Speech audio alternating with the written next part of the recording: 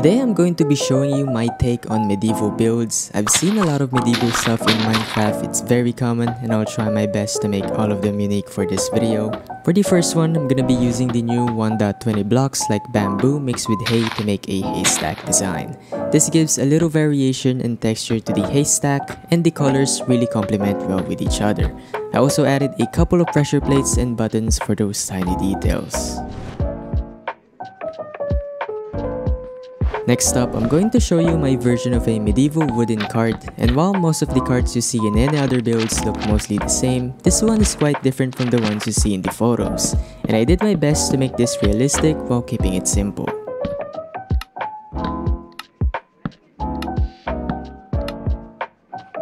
In the front, I'll be using a jungle fence gate to match it with the lightning rod and there's our medieval cart. It's looking very nice and simplistic. Again, if you don't want it empty, you can place some hays and bamboos in the cart, just like what we did in the haystack. Here we have a couple of lamps and signages for you to use. Here's a simple lamppost using a spruce fence and trapdoor with a regular lamp on the side. You can also use that to make a signage post like this one. It's very easy and has lots of uses. Feel free to change it up and get creative with it. Here we have another signage with two spruce signs and a brown candle on top. Here's another lamp or torch as they call it. This one uses a campfire and an oak sign. If you want to go for a smaller torch, you can use an actual torch or a late brown candle. You can pick which ones you'd like. Next up, we have baskets and crates. Again, I'm only gonna show you this because they're easy to make just by looking at it. We have a large, small, and medium baskets combined with barrels, composters, and note blocks. Now, if you notice something different with these baskets is these monster spawner, which they added to the creative inventory now, and it looks like a cage or metal container, which lowkey fits in the aesthetic. And we're just getting started. If you like what you see so far, hit that like button and let's get on with the next one. This is probably one of my favorite builds in this video just because it uses the new 1.20 blocks. This one is a cooking pot or a better version of a campfire and you can use this as an outdoor decoration for your village. And here I'm using all spruce wood on this one but you can also use any type of wood blocks if you want. In the middle, I'm gonna use a combination of chains, dark oak hanging signs, and dark oak trapdoors to connect to the cauldron.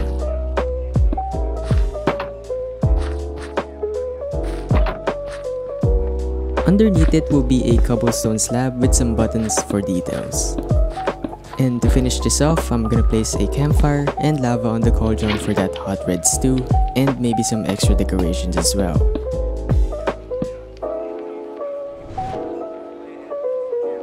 Another small detail to add to the cooking pot is a chopped piglin head with axe on the side of the log so it looks like you're cooking a piglin in the cooking pot.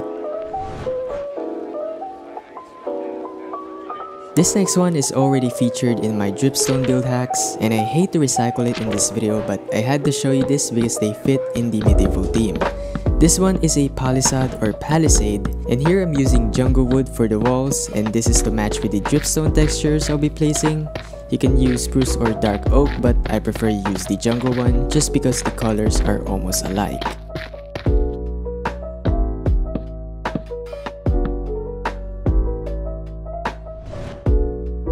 This next one is a simple target design using bamboo and hanging signs and this will act as the arms of the target. It works perfectly fine, just don't hit the sign itself because it will just go through.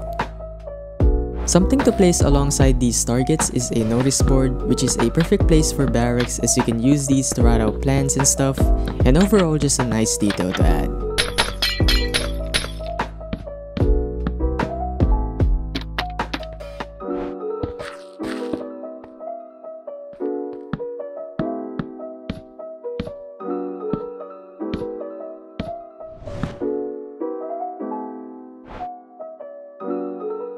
Of course, I can't forget the important build in Medieval, which is making a simple well. So here's my very own version of it. A small one too because most of the well builds I've seen are too large for my liking.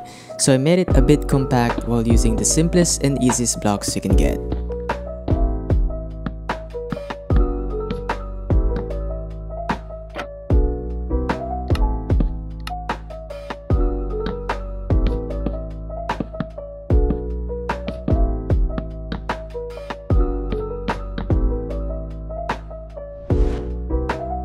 There is another well I have in mind, which is removing the bottom part of the well and keeping it open while still keeping the roof. If you notice, the roof is connected using spruce hanging signs, which I like better than the spruce sign. This time I'm going to add a bucket using a decorated pot because it's much better than a cauldron, but we'll still add that to the side only with butter and some extra details.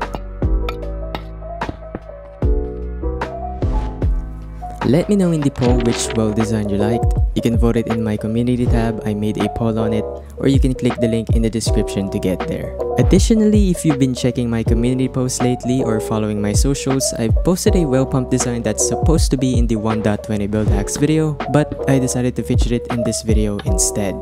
What's so special about this build is the fact that the decorated pot sits well with the pump, especially with the blue stained glass pane as the dripping water on it. With a barrel, spruce fence, and brown candle, you can make a butter churn, which is one of my favorites in this video because it just looks really simple. With the new 1.20 armor trims, it's now possible to add textures and patterns to our armors without any resource pack or mods, so I created a Knight's Plate armor inspired by this picture I found on Google.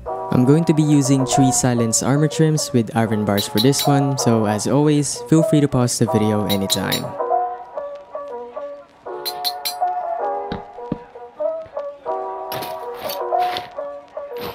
And there's our plate armor display, which really fits in the castle for decoration, and you can also change the colors to red, green, or yellow for those variations. If you watched my Wild West build hacks video, which I highly recommend you do, I made a cowboy on a horse, which I also think would work well with a knight. So with the plate armor we did, we'll just need to make the horse and the armor stand so we can create our knight on a horse.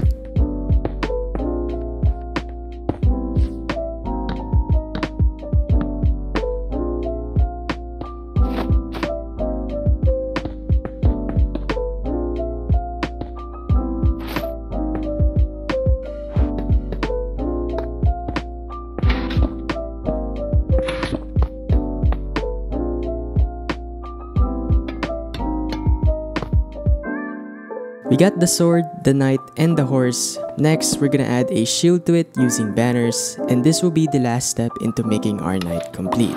Again, feel free to pause or rewind the video.